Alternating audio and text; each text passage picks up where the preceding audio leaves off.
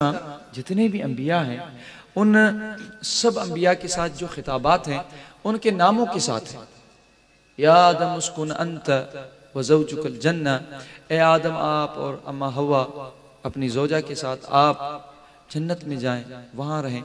तो या आदम का नाम लिया, और इसी तरह या नूह, इहबित बिसलामिन, ए नूह, कश्ती को सलामती से अब साहिल पे उतारिए।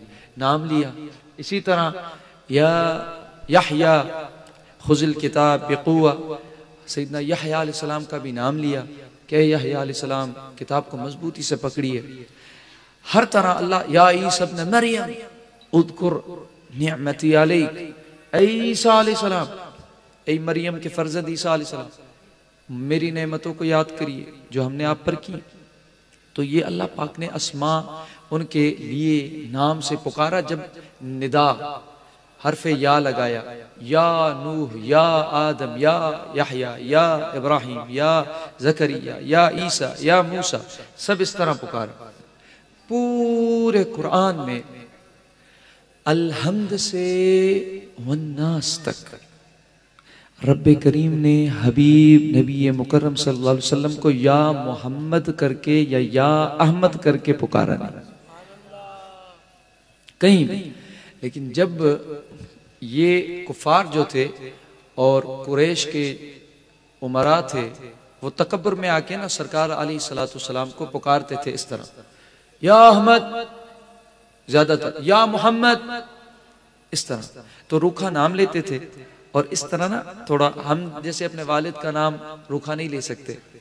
जो लेते हैं, कहते भाई, ताजीम कीजिए। ताजीम के लिहाज की वजह से तो अब इंसानों के लिए अल्लाह ताला ने ये रखा है ताजीम और मोहब्बत और नरमी रखी है, एक दूसरे का एहतराम। लेकिन नबियों का एहतराम तो और बढ़कर है, सब इंसानों से ज़्यादा। तो रब करीम ने, रब करीम तो वो करीम है, वो जो चाहे वो निज़ाम वो कर सकता है, लेकिन हमें एहतराम, रब ने आदम को भी नाम से पुकारा, या आदम, या नू लेकिन हबीब को नहीं पुकारा। हबीब को नहीं पुकारा। और जब कुफार ने पुकारा इस तरह, या मोहम्मद करके पुकारते थे, जैसे बंदा किसी को इस तरह पर, ओ फुला ओ फुला, ऐसे उर्दू में तो वो अरबी में, या फुला तो ये अदब से हट कर जाता है। तो अल्लाह पाक ने फिर मोमिनों से खिताब करते हुए फरमाया कि मेरे हबीब को आप ऐसे पुकारते हो रूखे रूखे नाम से। या ला तजालू दुआ और रसूल का दुआ बादन। एक दूसरे को तुम जिस तरह रूखे रूखे नामों से पुकारते हो ना पुकारते वक्त, निदा देते वक्त तुम कहते हो, या जैद, या बकर, या अमर, इसे पुकारते हो तुम। मेरे मुस्तफ़ा को जब पुकारो तो एक दूसरे की तरह न पुकारा करो। मेरा मुस्तफ़ा तुम्हारे जैसा होता तो मैं इसे कह देता।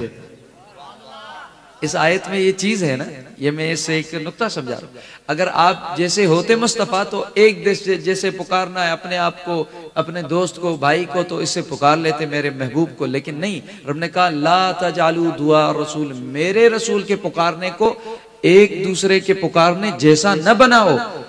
तो यार, अब कैसे पुकारे?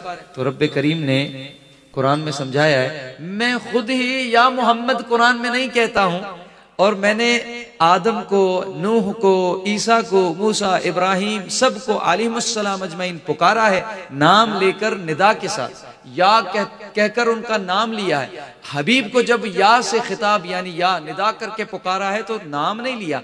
लकब दिया है और मनसब से पुकारा या मोहम्मद नहीं कहा, या अहमद नहीं कहा। या अयुहन नबी। या अयुहर रसूल। या अयुहल मुजम्मिल या अयुहल मुद्दसर यासीन। तो रब ने तो लकब दे देकर और शाने दे देकर मुस्तफ़ा को अदब से पुकारा। हमें अदब सिखाया है। रब करीम हमें समझाते हैं आयात और कुरान के ज़रिए से, कुरान करीम के ज़रिए से कि मुस्तफ़ा करीम, नबी मुकर्रम सब नबियों के रसूल और रसूल अंबिया के खातम खातम नबीन उल उनका अदब तुम पर लाजिम है।